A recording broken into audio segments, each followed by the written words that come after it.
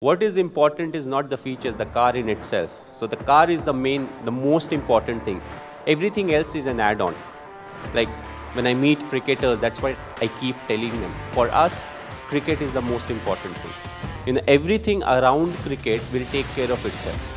You know, if we take care of the most important thing which is cricket. Because in today's world when i started playing cricket you know when i started playing for india it was 2004 there was no instagram there was no twitter nothing now a lot of people are worried about likes, followers, this, that, but that's not the core subject. You know, as cricketers, we are supposed to try our best, you know, to represent the country and do well. If we take care of that, the followers will take care of themselves, the likes will take care of themselves.